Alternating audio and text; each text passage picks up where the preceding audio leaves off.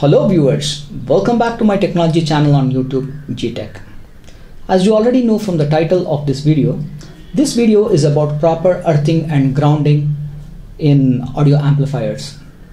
As per my observations, many people who build audio amplifiers, especially uh, those uh, who are into DIY audio amplifiers, I've also seen this in many uh, professional amplifiers also. So they don't give much importance to proper earthing and grounding. So I have been implementing proper earthing and grounding in my equipment and I've seen many advantages. So in this video I'm going to show you how I do it in my equipment. It has a lot of advantages. Most importantly, it has a safety advantage. So let us look into all those points and also let us look into uh, what circuit and how I implement in my equipment. So let's start. Here are some of the advantages of proper earthing and grounding in audio amplifiers.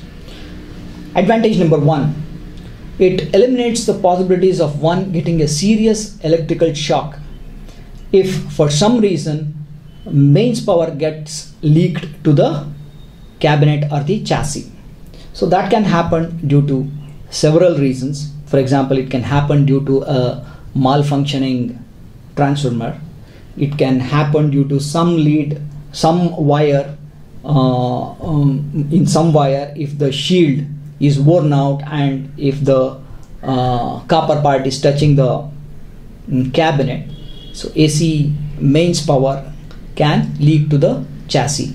So in all those cases, if the amplifier is properly earthed, so the possibilities of one getting a serious electrical shock is almost eliminated. In such a case, the ELCB at the place where this amplifier is operating is tripped. Also, uh, uh, as a safety measure, you will have uh, provided a fuse, so even that will blow off and uh, safeguard the person whoever is operating the amplifier. So this is the first advantage. Advantage number two it reduces or in most cases eliminates hum completely from the amplifier. So hum as you know hum is a nuisance in an amplifier build. So if that can be eliminated it's simply great.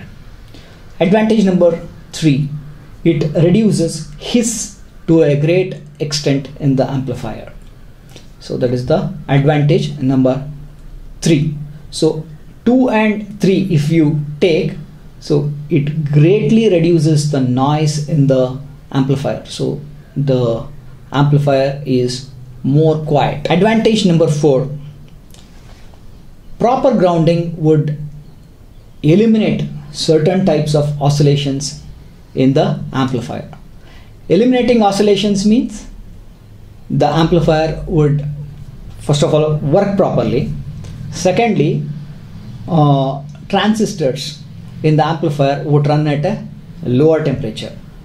So um, mm, I've seen in many audio forums about people people complaining that their build their amplifier is actually oscillating. The same circuit will be working somewhere else.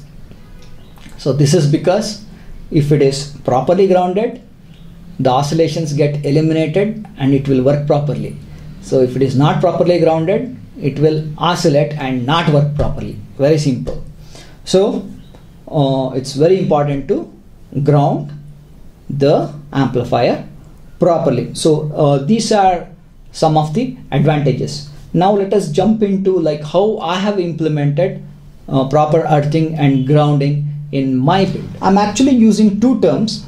One is earthing and the other one is grounding. So when I um, when I'm talking about earthing, I'm talking about the earth pin from the mains wire. So when I'm talking about grounding, I'm talking about the zero uh, voltage point within the amplifier circuit. I'm, I'm talking about the amplifier power supply. So um, let us not confuse between the two. So to start with, uh, this is how I have earthed the amplifier. As you can see here is the mains socket. So from the earth pin I am directly connecting it to the chassis or the cabinet of the amplifier. Very very simple. That's all about earthing the amplifier. So now coming to grounding. So these are the points that you need to keep in mind. First point is isolate all the sockets. For example these are speaker banana sockets for connecting the speakers. And uh, here we have uh, the RCA sockets. So all these sockets have to be mounted on a plate which is not conducting. That means the ground point of these sockets should not touch the chassis.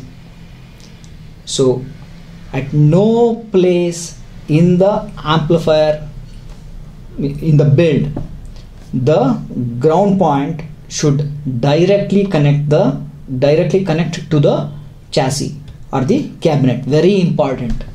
So if that is taken care of the next step is achieved. The next point is that all the ground points uh, speaker ground input ground whatever you have all those things all those ground points should come and connect to the zero on the power supply rail.